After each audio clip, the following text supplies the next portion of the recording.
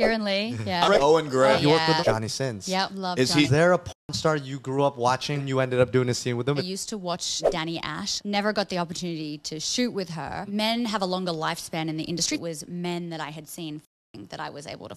Like who? Manuel Ferrara, Rocco Siffredi.